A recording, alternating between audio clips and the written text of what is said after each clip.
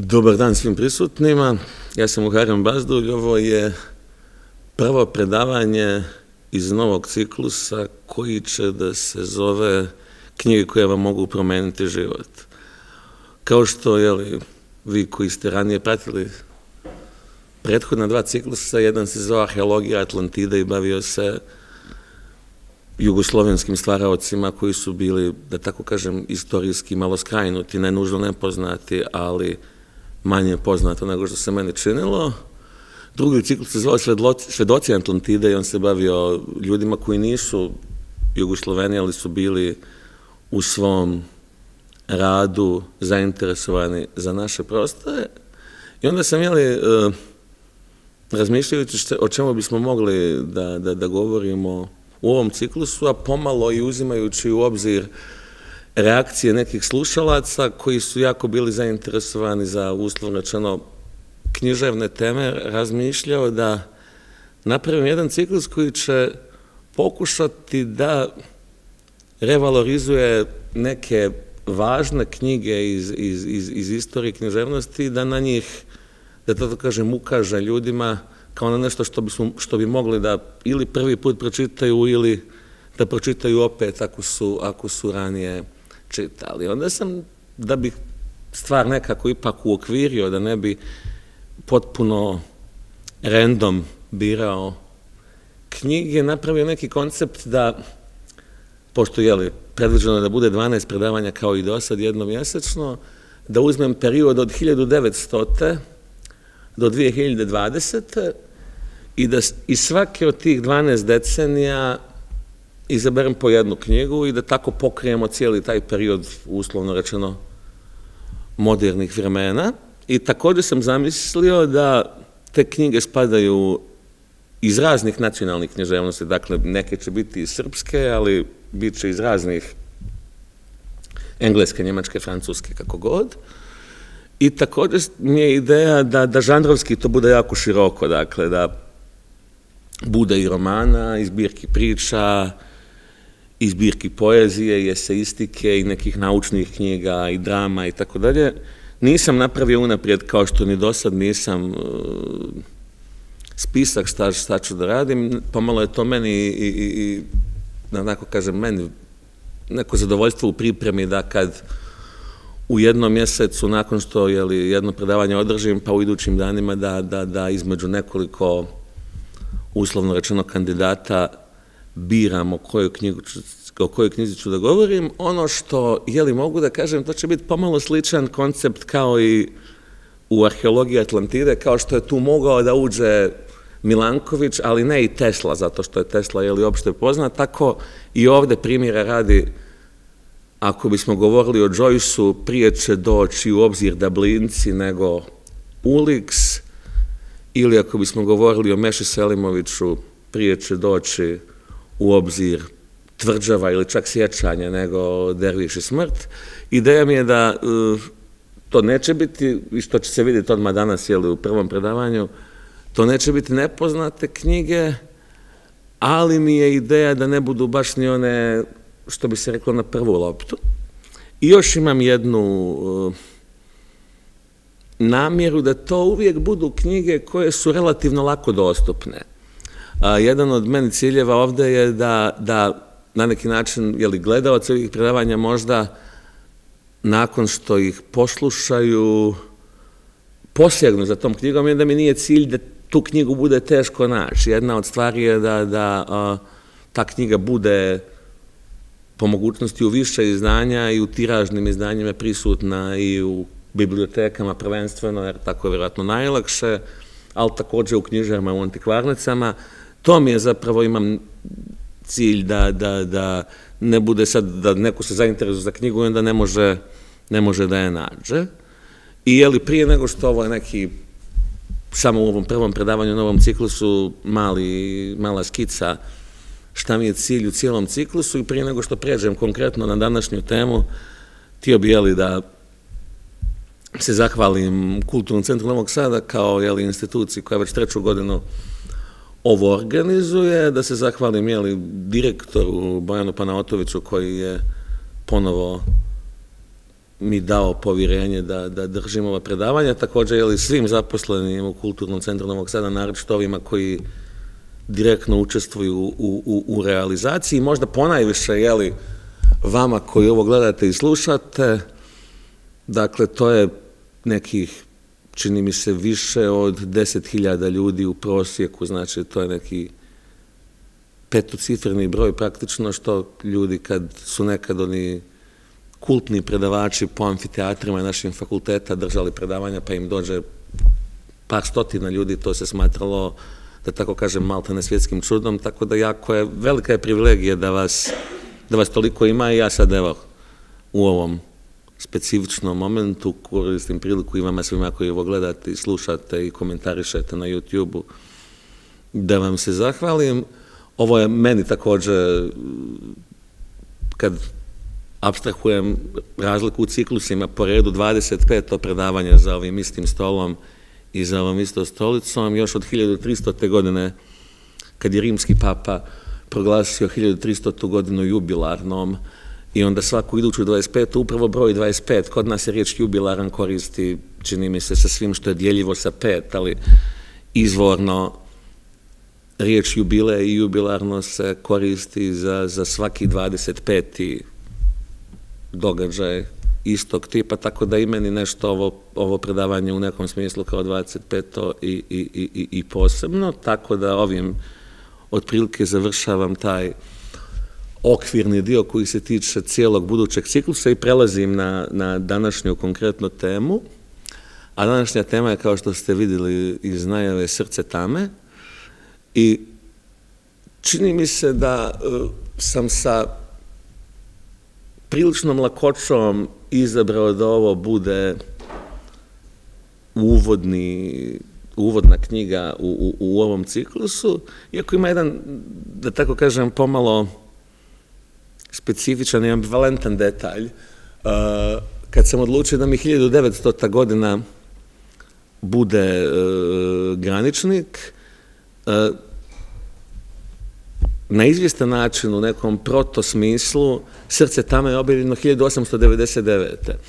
Ali objavljeno kao novinski feljton, odnosno magazinski feljton u tadašnjem londonskom Blackfoot magazinu u tri nastavka, dakle to je izašlo kao jedna, da tako kažem, časopisna, časopisni feljton u nastavcima, a kao knjiga je Srce tame prvi put izašlo 1902. I u tom smislu sam zahvaljujući tom presedanu, čini mi se mogu da opravdam uh, uvrštavanje ove knjige kao prve u ovom ciklusu, a jeli, po pravilima koje sam, koje sam malo prije izložio. I prije nego što jeli, dođem do same knjige, treba nešto da kažem i o njenom autoru, jer je to važno, zato što, jeli, kao što je za svaku knjigu važan autor, ali ovde je važan jedan biografski moment. Dakle, jeli, kao što je opšte poznato, Joseph Conrad, koji je autor Srca tame, se smatra jednim od vodećih engleskih modernističkih pisaca, ali njegova biografija je neobično zanimljiva i zapravo potpuno odudarao od ideje kakva je bila biografija nekoga ko se upisao sa takvim, da kažem, kredencijalima u, u, u modernu englesku književnost. Naime, Joseph Conrad je etnički Poljak koji se rodio u, u, u, na teritoriji današnje Ukrajine. On se rodio u gradu koji se zove Berdičev, u, u, u današnjoj Žitomirskoj oblasti na sjeveru Ukrajine, i rodio se 3. decembra 1857. I to je period kada taj prostor koji je li danas pripada Ukrajini, a svjedoci smo svi da postoje razne zemlje, jedna to radi vrlo direktno, druge indirektno, koje imaju, što bi rekli, pretenzije prema ukrajinskoj teritoriji. To je također bio period kada je taj prostor bio na neki način uh, između poljske i ruske zone uticaja, odnosno zone kontrole. I kao Poljak, Konrad, odnosno njegova familija, su kada je, tu prostor, kada taj prostor formalno zauzela Ruska imperija, oni su kao jedna porodica koja je bila na glasu kao aristokratska i patriotska i tako dalje, bili e, poslani u, u progonstvo u Sibir i e, u tim nekim uslovima, jeli, nimalo poželjnim, Konrad je vrlo mlad kao dječak, izgubio i oca i majku. Dakle, majku izgubio već sa, sa šest godina, a oca sa 12 godina. Zaboravio ih da pomenem, zapravo njegovo pravo ime, rođeno ime, pod kojem je, što bi rekli, kršten je, bilo Jozef Teodor Konrad Koženjovski. I on je uspio da, jeli, iz tog imena, Jozef je samo poljska varijanta potpuno istog imena engleskog Joseph i ovo Konrad je sačuvao i to njegovo ime koje zapravo nije klašni pseudonim, nego je samo skraćivanje njegovog pravog imena, je na čisto, što bi se reklo, fonetskom nivou djelovalo vrlo autentično kada on postane engleski pisac, ali dotak ćemo tek da dođemo. On, nakon što mu umiru oba roditelja, prelazi da živi kod ujaka u Krakov.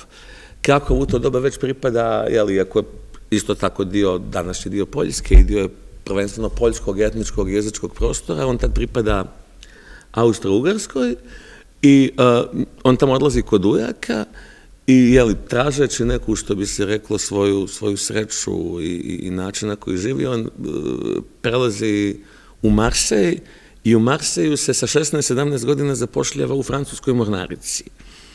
E, i ovo je sad zanimljivo i jako važno u stvari e, za ono što će biti u buduće. On tad, kad ima 16-17 godina, kad postaje uh, mornar u francuskoj mornarici, on zapravo ne zna po većini e, biografskih informacija koje imamo o njemu praktično ni riječi engleskog ili možda je nekad čuvali nema nikakvom poljski zna kao maternji jezik i zna francuski, jer je francuski u tada, u 19. vijeku, bio ono što je danas engleski. Dakle, ako znate jedan strani jezik, u to doba to je pre francuski nego engleski.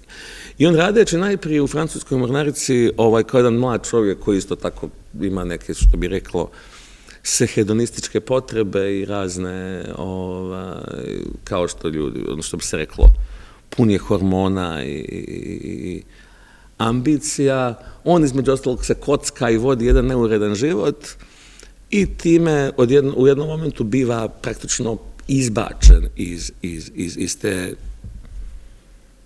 firme, da tako kažem, u kojoj je radio. I on sa 21 godinom uh, izašavši iz francuske mornarice postaje dio, počinje da radi za englesku mornaricu kao, kao mornar i ovaj, počinje, tada tek usvaja engleski jezik polako i jeli do toga ću naravno isto da dođem kasnije, ali je skoro nevjerovatno i mi imamo u istoriji pisce koji su ušli u kanon jezika kojim nije materni, recimo, ajde možda nam prvo pada na pamet ponovo kad govorimo o engleskom Vladimir Nabokov. Međutim, Vladimir Nabokov je imao englesku dadilju, bukvalno kao dečko od dve, tri, četiri godine. I on je pa... Ali mislim da u istoriji književnosti ne postoji uopšte takava uporediva priča da neko koji u već u odraslim godinama, dakle u nekom punoljetstvu, neki jezik počinje da govori i postaje u tom jeziku bukvalno klasik. Dakle, vi sad, to otišao bi predaleko i nemam vremena, uh, čak u lingvističkim teorijama kao kod Čomskog smatra se da vi jezik možete da asimilujete na savršen način jedino još prije puberteta ako počnete da ga učite. Vama će on ostati strani ako krenete učiti kasnije bukvalno na nivou fiziologije skoro. Ali kod Konrada se desila ta stvar koja je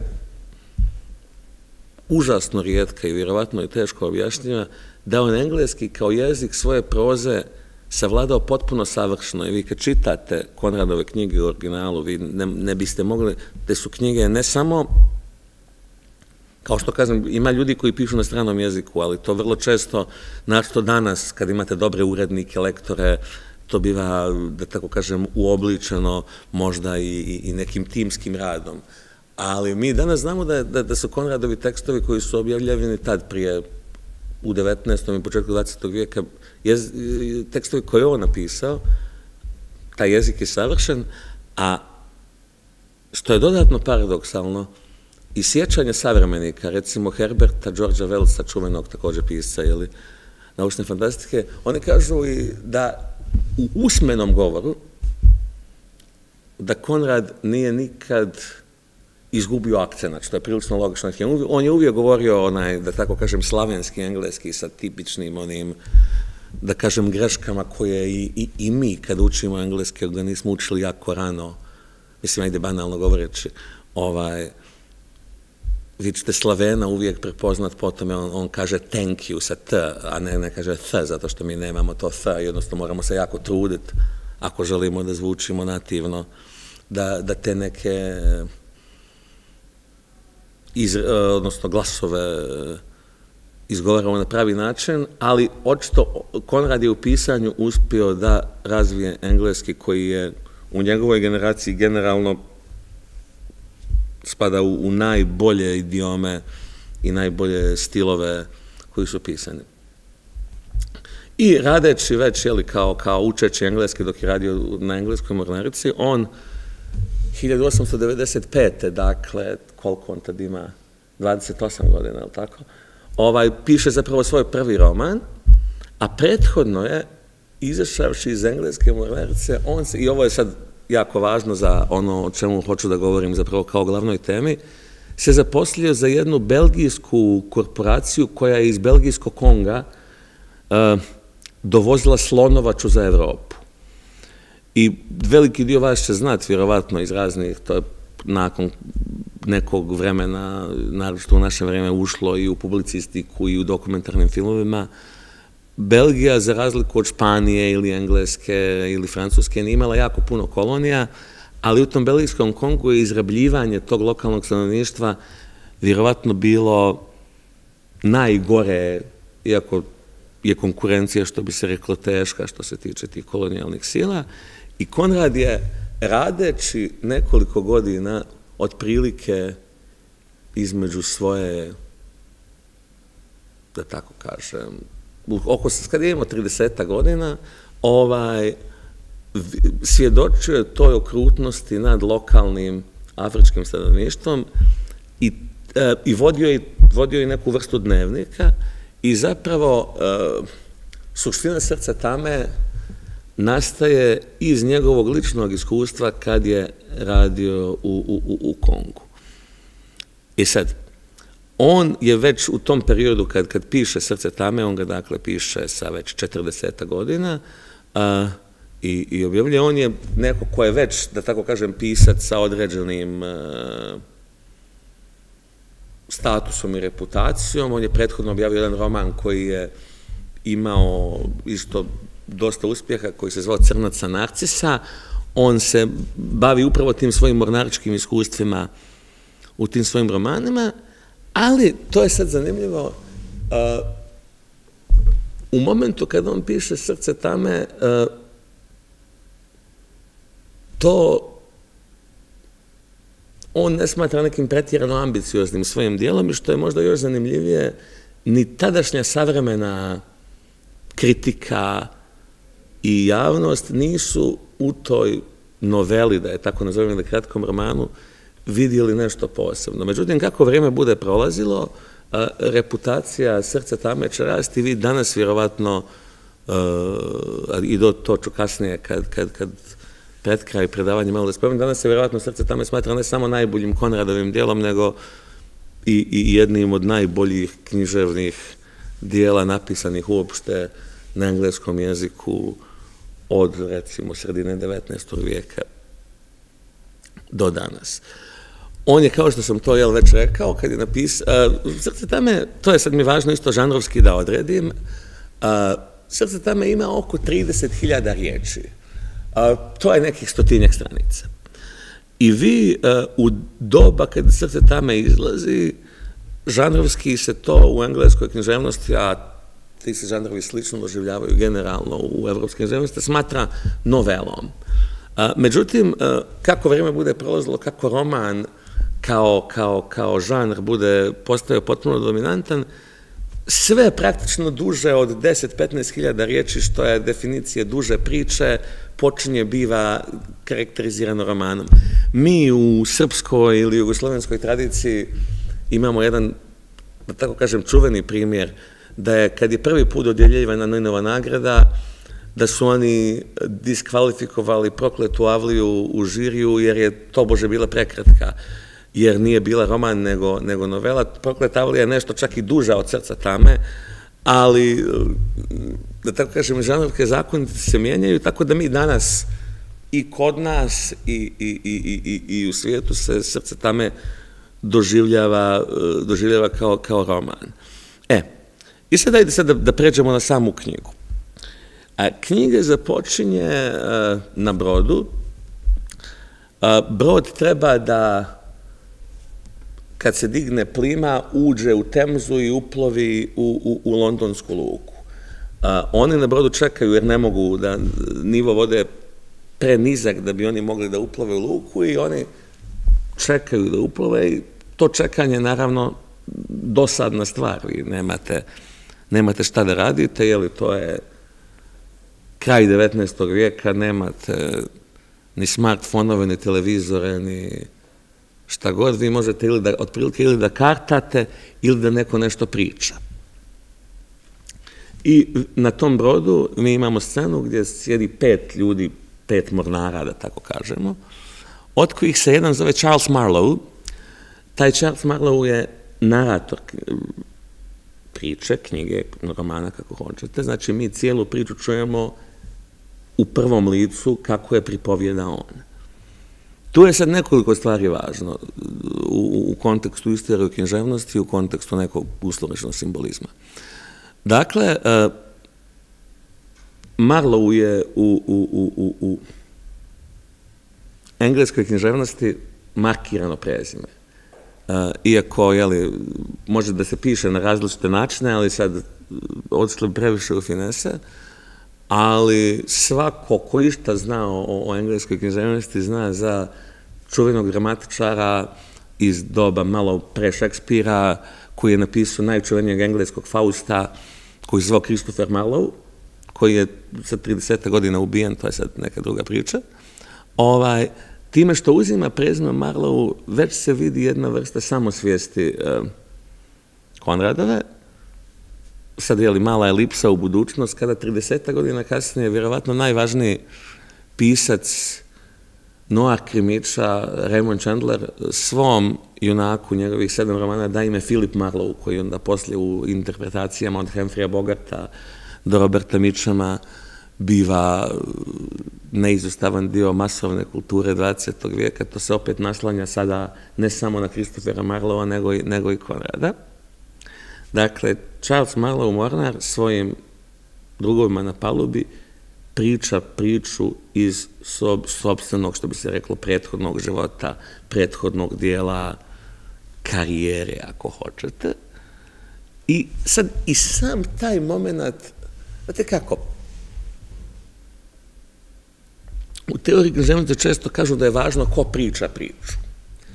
Onaj ko priča priču, kao i ja sad ovdje, ako hoćete, on ima privilegiju, on selektuje dijelove koji su zanimljivi. On daje akcenat na ovo ili na ono. On može da priča brzo, može da priča sporo, može da pravi digresije, može da pravi viceve, može, može. Ali takođe je jako važno ko je publika. I a, vi zapravo ako nemate, ako nemate, ako, mislim, vi ako pričate sami sa sobom, vi ste budala. A ako imate publiku, vi nekom saopštavate određenu vrstu a, iskustva i to je to što radi, recimo, Konrad u toj, u toj knjizi, to takođe u 20. vijeku postaje skoro pa manir. Vi recimo imate a ako ćemo eto da ostanemo kod srpske književnosti, e, to je ono kako priča Ljubav Rapče kao narator e, Mihajlovićevog romana Kad su cvetale tikve, To je ono što će postati u, u, u, u ruskoj književnosti poznato pod, pod, pod žanrom skaz, znači nešto što je usmeno obraćanje publici, ili ako hoćete u rock and rollu ili, ili u popularnoj kulturi, vjerovatno najbolje, recimo, Springsteenove pjesme sve imaju taj uh, oblik gdje čovjek za šankom otprilike nekom svom drugu prepričava svoj život i prepričava mu neke neka formativna iskustva iz, iz, iz tog života. I on sad, jeli, to, to isto jako, jako, jako vješto, jako dobro urađeno, Marlow priziva kako su nekad pre nepunih 2000 godina, kada su Rimljani, koji su, jeli, doživljavali Englesku kao neki kraj svijeta i kao neku divlju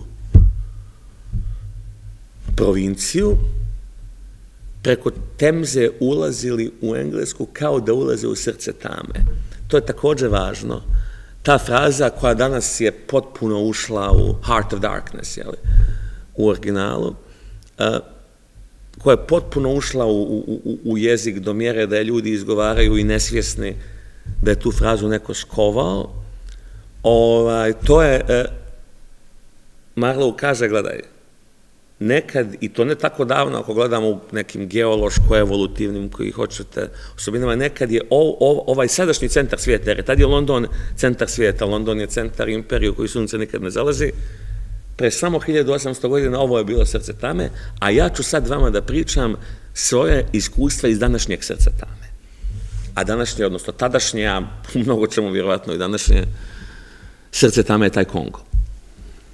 I sad on opisuje kako dobiva, i to je sad vjerovatno vrlo, iako ne mora nužno biti važno, ali to je autobiografski, kao što je Konrad kao istorijska građanska ličnost dobio taj posao da, da, da radi za belgijsku korporaciju koja izvlači ovu slonovaču iz Konga, tako je Marlow kao njegov lik to isto uradio.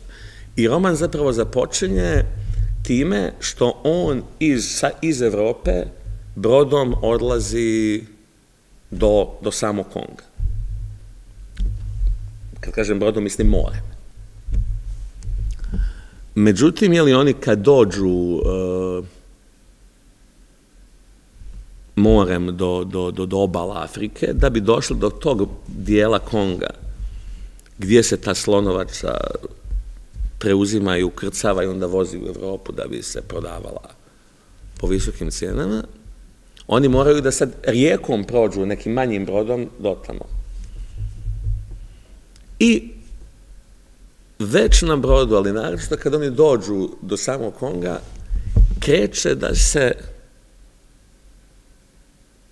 ispreda legenda o čovjeku koji je tamo uslovno rečeno vlasnik, komadant svega, predstavnik jeli, bijelačke, belgijske, kolonijalne uprave, koji se zove, jeli, uh, na engleskom originalu to se piše, uh, jeli, K-U-R-Z, što bi rekli Kurz, iz nekog razloga, iako ja u mojim znanju engleske fonetike to u teško može da bude e, ali u našim prevodima to uglavnom biva kerc, ja pretpostavljam zato kao i kod austrijskog političara ili kod njemačkog futbolera, kad se neko zove kurc u našem jeziku u nekim padežima stvara jeli, jednu nepoželjnu konotaciju, tako da možemo ga zvati kerc svejedno, da bi rekli kerca, a ne šta već uglavnom kreće ovaj, ta mračna legenda o tom nekom kercu koji jeli, upravlja svime, a ima neku vrstu diabolične prirode.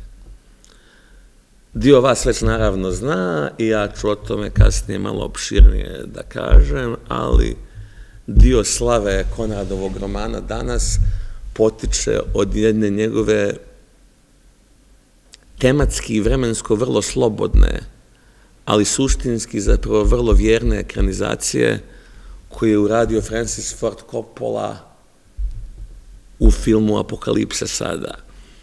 Dakle, u filmu Apokalipsa sada radnja se pomira 70 godina unaprijed, to ni više Kongo nego Vijetnam, Kerc je opet Kerc, ali nije predstavnik kolonijalne uprave, nego je američki oficir, ali ta vrsta diaboličnosti koju je na savršen potpuno način u filmu odglumio Marlon Brando, ostaje ista. I da, znači Marlow sada ide, on sluša samo, i, to je isto jedan, jedan motiv koji je potpuno uh, užasno duboko ušao u modernu književnost modernu kulturu, da isto ljudi često zaboravljaju da nio nije s neba pao. A to je taj moment da vi imate naratora, ali da je fokus naracije na nekom drugom. Dakle, jer, znate kako, to je uvijek tako, kao i u svakoj kafanskoj kozeriji. E, priča je bolja ako priča o nekom drugom. Vi ako pričate o sebi, znači ako se hvalite, to je ono što zovu lovačka priča. Ako pričate priču o nekom drugom, onda možete i, i, i neke hiperbole i pretjeranost da ispričate da ne zvuče nerealno. To je ono što bi ovi danas u internetskim ovim, što bi se reklo, mimovima, ono kad neko, kad je nekog sramota da traži savjet za neku svoju muku, onda kaže pitam za druga ili pitam za drugaricu, jer onaj stvar je lakše svarljiva ako se ne tiče vas, nego se tiče nekog drugog i to je što često, ajde sad i time ću da završim ovaj dio, kao što ljudi, kad pišete u prvom licu, pa ljudi uvijek misle da vi pravite auto, autobiografski lik od naratora, to zato što narator kaže ja, ali u stvari to je zanimljivo eto čak neki od vas koji vole da čitate nekad znate, nekad je najlagodnije napraviti autobiografski lik od tog objekta priče. I, i to ću isto kasnije, malo pred kraj, možda i da se održim, vi imate i, i, i, i neke postkolonijalne tumače književnosti koji su tvrdili da Konrad nije pravio Marlova po sebi, nego da je pravio Kerca po sebi, ali nastrano to. I da, oni sad odlaze, taj manji brod koji ide rijekom, ovaj, on prolazi tamo kroz razne ovaj, tipična ona priča, opet skoro arhetipska, bajkovita, mitska, ne može ta, ta, ta, ta plovidba da bude bez problema, ne znam, dolazi do nekih vremenskih nepogoda, urođenici ih napadaju i tako dalje. Međutim, jeli u jednom momentu dolaze do, tog, do te baze, do tog uh, mjesta gdje Kert stoluje i Kerc je već bolestan je i, i, i što bi se reklo halucinira i, i, i, i, i, i brblja i ovaj Marlow tu je potpuno šokiran načinom na koji su ti ljudi koji tu rade, crnci, da tako kažem, da ne tražim politički korektan izraz, urođenici, kako hoćete, da su izloženi nevjerovatnom zlostavljanju, mučenju, ponižavanju i tako dalje. I zapravo on gledajući to Kerca vidi u njemu čovjeka ne neko urođeno unaprijed utvrđeno zlo, nego čovjeka koji je došao tu i koji se možda prelako navikao i, i, i srodio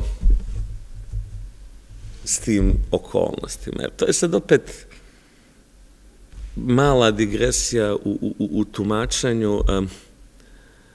Mi danas, recimo i kad govorimo o, o, o, o američkoj deklaraciji nezavisnosti kao jednom od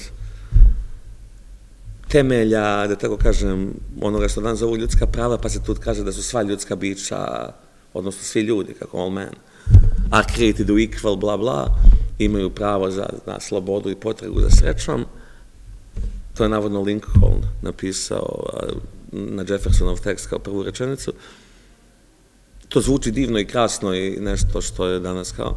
Međutim, u, u praksi, a to nije bilo tako davno, to je bilo pre 250 godina, ovaj, all men, svi ljudi su stvarani jednaki, to se odnosilo na muškarce, na bijelce, na punoljetne i na ljude koji su imali, što bi se reklo, izvjestan imovinski cenzus.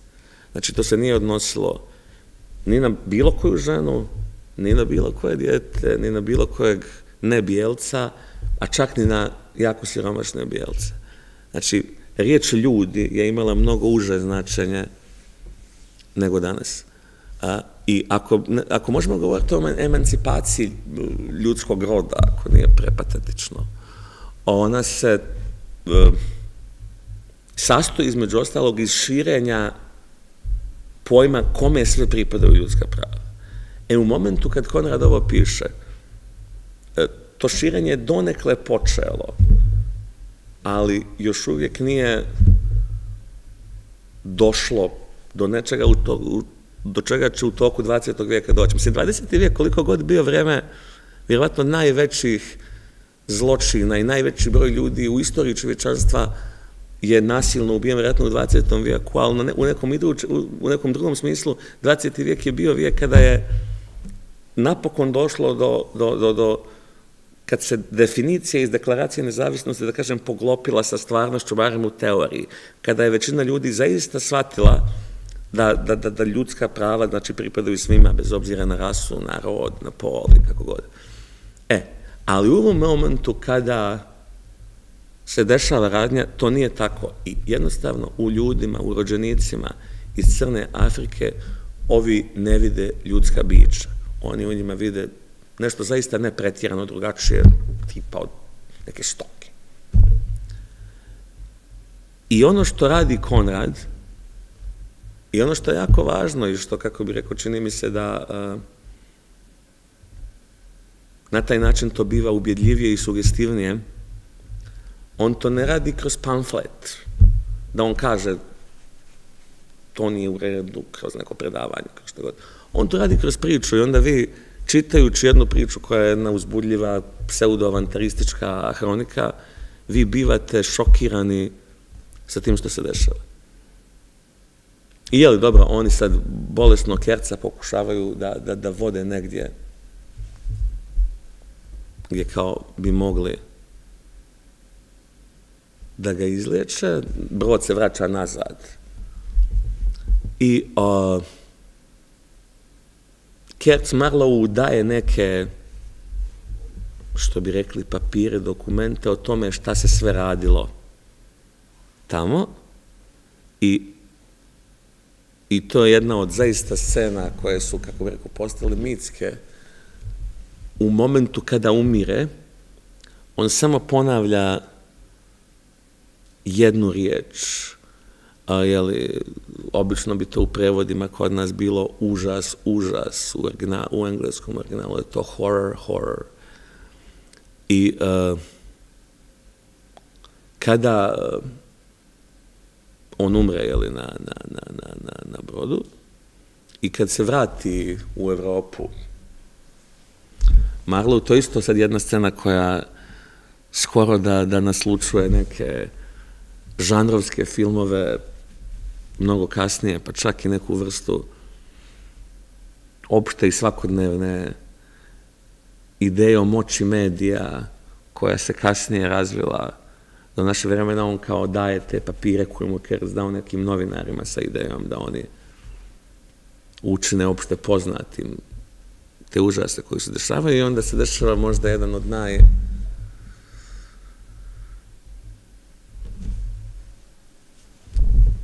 čudnih ili šta god, antiklimaksa. On, Kerc je prije nego što će otići u Afriku i možda je zato zapravo i otišao u Afriku on je imao neku vjerenicu koju je želio da oženi, ali nije imao para i on zapravo odlazi dole kao sa idejom da nešto zaradi pa da se vrati da nju oženi. I on tamo naravno upadne u to što smo sve rekli. Dio toga naravno je da je on tamo imao i neke te crnkinje, domorodkinje koje su mu jeli, na jednom nivou bile ljubavnice, na drugom nivou to možemo proglasiti nekim zlo sigurno nisu to bile nužno dobrovoljno. Ovaj, I ovaj Marlow odlazi da se, da se, da se vidi s tom njegovom vjerenicom, da, pošto ona zna da je on zadnji čovjek koji ga je vidio živog. I kada on njega pita kakav mu je bio ovaj, smrtni čas, što bi rekli, ovaj kaže, ne kaže da, da, da je kao umro govoreći užas, užas, nego je kaže da je umro govoreći njeno ime. I ovaj, i tako je li tom, što bi neko rekao, plemenitom laži, ovaj, priča završava. Ima jedna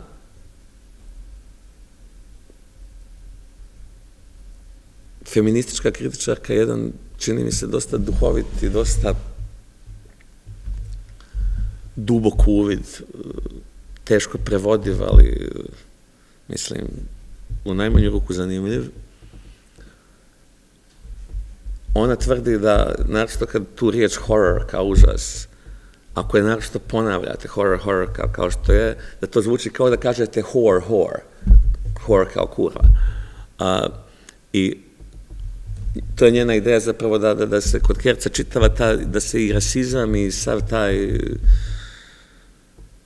negativni, da tako kažem, element stvari može čitati kroz mizoginiju, što je, što je da kažem, zanimljiv uga u najmanju ruku, jer je negdje od 50. godina kada u, u, u, u fokus proučavanja književnosti na, na, na, na zapadu uđe taj najprije postkolonijalizam, a onda neke druge e, formacije te teoretske, zapravo srce tamo je postalo i možda najkomentarisaniji, najanaliziraniji tekst engleske moderne književnosti, to mislim negdje čuveni kritičar Harold Bloom kaže, pa kao što je recimo Činua Čebe e, napravio cijelu teoriju o, o, o, o na neki način čak i rasizmu samo Konrada, što ja mislim da je pretjerano bazirano na ovoj knjizi, tako su iz neke feminističke kritičarke imale, imale te svoje uglove. Ono, međutim, ako izađemo, jer to bi sad mogli jako puno, jako dugo i naširoko da govorimo o raznim teoretskim pristupima ovoj knjizi, ono što je nesumnjivo je da ona u, u, u književnosti i, i popularnoj kulturi ostavila užasno dubok trag i to, kao što rekao, recepcija knjige nije bila možda prvih deseta godina ili čak dvadesetak uh, adekvatno njenoj kasnije uh, razumljenoj vrijednosti, ali recimo već od 30. godina ona ulazi jako duboko kao, kao metafora, možda čak i 20. prošlog vijeka, u neke užasno važne tekstove recimo, mo, e, mo, iz, e, rečenicu jednu iz, iz srce tame koristi T.S. Eliot kao moto jedne od svojih najvažnijih pjesama Šuplji ljudi. Onda e, već 30. godina Orson Welles pravi radiodramu na, na, na, na temu srce tame. Pomenuo sam, jel, taj Kopolin čuveni film, vjerovatno, u istoriji kinematografije možda najmoćniji antiratni film Apokalipsa sada. Uh, 90. godina, rekao sam da, on je premješten u 90. godina, ako se ne veram, 93. Nikolas Rojek pravi TV film sa Timom Rotom i ne mogu da sjetim kime još, to je baš pravo srce tame smješteno u, u, u Kongu, u kraj 19. vijeka kao što se roman dešava, a James Gray relativno skoro, čini mi se 2019. pravi jednu malo još skoro SF obradu u filmu Ad Astra. Ali hoću da kažem, navodim samo neke, lako je to danas na internetu provjeriti, broj eh, da kažem, pop muzičkih pjesama ili albuma, filmova, stripova, knjiga, knjiga priča, čak i video igrica danas a, inspirisanih a, srcem tame je, je, je ogroman. I na posljedku je li ono što, što, što sam htio isto tako da kažem, a u skladu sa nečim što sam pomenuo u, uvodu koji se tiče cijelog ciklusa, koga a, knjige, Da, ajde jedna, opet, potpuno autobiografska fusnota, ne nužno važna, ali možda zanimljiva. Uh, Srce tame je prva knjiga tako cijelovita i originalna na engleskom, koju sam ja na engleskom i, i, pročitao kad sam imao 17-18 godina. Ja sam prethodno čitao neke, recimo, priče o Sherlock Holmesu prilagođene uh, ono, ljudima koji uče strani jezik, pa su tu, imate onaj riječnik na kraju, ne, manje poznatih riječi i tako dalje. Međutim, srce tome možda i naivno, sam pomislio upravo jer je pisao stranac da će za neko ko ima neko gimnazijsko znanje jezika u to doba biti lagana i ja sam uspio da se, da se, da se probijem, ali ne toliko jednostavno kao što sam mislio. To kažem u smislu da svi koji imaju određeno znanje, kažem, gimnazijsko i malo jače od gimnazijskog, mogu knjigu da čitaju, čini mi se i u originalu, naročito što je ta knjiga je zbog, ona je izašla, kao što rekao, pre više od, od, od, od 100 godina, a i Konrad je to zaboravio da pomenem, nije, on je umro od 920 Bože, koliko je, ako se 923. čini mi se, znači da, da to bi ispalo da je prošle godine bilo 100 godina. O, ili 900, možda ove godine, možda 924, sad mi bježi. Ovaj, nije ni važno. Ovaj, ali prošlo dovoljno godina da njegove knjige više nisu pod copyrightom, tako da, su, da, da, da je taj tekst zapravo besplatan uh, ako ste engleski izdavač, možete to da objavite u originalu bez ikakvih plaćanja autorskih prava i knjiga postoji na internetu u originalu na, na, na, na bezbroj sajtova od projekta Gutenberga nadalje, tako da ako bi je neko čitao na engleskom, zapravo lako, jako je lako naći. Ako hoće da čita prevod, to je isto zanimljivo. Uh, Dakle, još dok je postala Jugoslavija, postoji jedan rani prevod Tina Ujevića, što je već samo po sebi zanimljivo. Tina Ujević je bio sjajan prevodilac i Flobera i, i, i nekih drugih pisaca. Njegovo vladanje jezikom je pjesničko i taj njegov e, stil je zanimljiv, ali te njegove prevode je malo možda i teže naći, a nakon jeli, raspada Novosadskog dogovora i tako dalje, interesantno je da su jako dobri, jako poštovani prevodioci u Hrvatskoj i Srbiji se uh, poduhvatili prevod ove knjige. U Hrvatskoj postoji prevod koji je preveo Vladimir Cvetković Sever, međutim, to je za ovde ljude u Srbiji pretpostavlja manje interesantno od onoga, a evo i u Novom Sadu smo, pa i to nije nezanimljivo, dakle, to je profesor danas baš Novosadskog univerziteta, odnosno novostanske angliske, Zoran Paunović, jedan od naših generalno najboljih anglista i najboljih prevodilaca, je preveo Srce tame, to je jedan zaista sjajan i uzoran prevod, koji postoji u našim knjižarama i bibliotekama i antikvarnicama u nekoliko izdanja i u prilično velikom tiražu, birno, mislim, tako da koga knjiga zanima, čini mi se bilo da želi da je, da je pročita u originalu, bilo da želi da pročita prevod, da može relativno jednostavno tu želju i, i ambiciju da, da ostvari. I kažem opet u, u knjiga je napisana eto prije 125 godina otprilike ovaj, na izvestan način to je dugačak period. Na neki drugi način, to je skoro pa samo jedan malo duži ljudski vijek, ne znam, možda bila je neka francuskinja koja čini mi se živjela skoro pa toliko, a, a, a to srce tame koje je Konrad onomad naslutio i koje je kroz tu svoju